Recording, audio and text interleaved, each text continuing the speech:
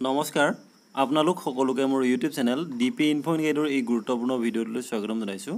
Sir বাইদেউসকল এই ভিডিঅ'টোত প্ৰতিখন লৱাৰ প্ৰাইমাৰী আৰু আপাৰ প্ৰাইমাৰী বিদ্যালয়ৰ বাবে অহা এটা অত্যন্ত গুৰুত্বপূৰ্ণ নিৰ্দেশনাৰ ইনফৰ্মেশ্যনখিনি চমুকৈ জনাবলৈ চেষ্টা কৰিম।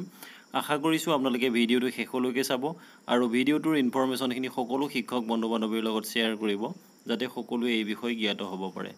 তেনেহ'লে আহকচোন ভিডিঅ'টোৰ মূল কথাখিনি লৈ আগবাঢ়োঁ। ছাৰ বাইদেউসকল এইখন হৈছে সমগ্ৰ শিক্ষা অসমৰ মিছন ডাইৰেক্টৰ ডক্টৰ ওম প্ৰকাশ ছাৰে প্ৰতিখন জিলাৰ ডিষ্ট্ৰিক্ট মিছন কোঅৰ্ডিনেটৰসকললৈ জাৰি কৰা এখন অত্যন্ত গুৰুত্বপূৰ্ণ চিঠি আৰু এই চিঠিখন জাৰি কৰা হৈছে এঘাৰ সাত দুহেজাৰ তেইছ তাৰিখে। ইয়াৰ ছাবজেক্টটো হৈছে regarding sports and physical education grant under financial year two thousand twenty three two thousand twenty four. ইয়াত পোন্ধৰ ছয় দুহেজাৰ তেইছ তাৰিখ আৰু এক সাত দুহেজাৰ তেইছ তাৰিখে যি অনলাইন মিটিং অনুষ্ঠিত কৰা হৈছিল এ ডি চি আৰু ডি চিসকলৰ লগত তাৰ এটা তাৰ দুটা ৰেফাৰেঞ্চ নম্বৰ ইয়াত দি দিয়া হৈছে।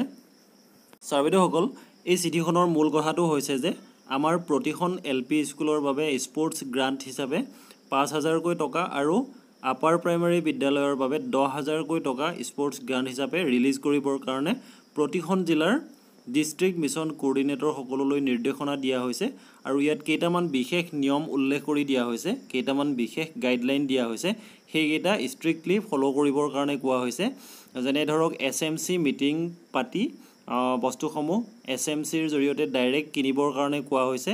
ইয়াত কোনো ধৰণৰ একাউণ্টেণ্টক ইনভল্ভ কৰিবৰ কাৰণে কোৱা নাই বা কোনো ধৰণৰ মধ্যভোগী ভেণ্ডৰক ইনভল্ভ কৰিবৰ কাৰণে ইয়াত কোৱা হোৱা নাই। আৰু এই স্পৰ্টছ যি ইকুইপমেণ্ট কিনিবৰ কাৰণে কোৱা হৈছে এই ইকুইপমেণ্টখিনি কিনাৰ বাবে এখন বিশেষ কমিটি গঠন কৰিবৰ কাৰণে কোৱা হৈছে এঘাৰজনীয়া সদস্যৰ আৰু এছ এম চিৰ জৰিয়তে ডাইৰেক্ট এই সামগ্ৰীসমূহ ক্ৰয় কৰিবৰ কাৰণে কোৱা হৈছে। আৰু এই গ্ৰাণ্ট লাভ কৰাৰ পাছতেই ইমিডিয়েট এখন মিটিং এছ এম চিৰ লগত অনুষ্ঠিত কৰিবৰ কাৰণে কোৱা হৈছে। আৰু এই মিটিঙৰ দিনটো প্ৰতিখন বিদ্যালয়ৰ বাবে একেই হ'ব আৰু এই মিটিঙৰ দিনটো ডি এম অ'ৰ তৰফৰ পৰা জাৰি কৰা হ'ব।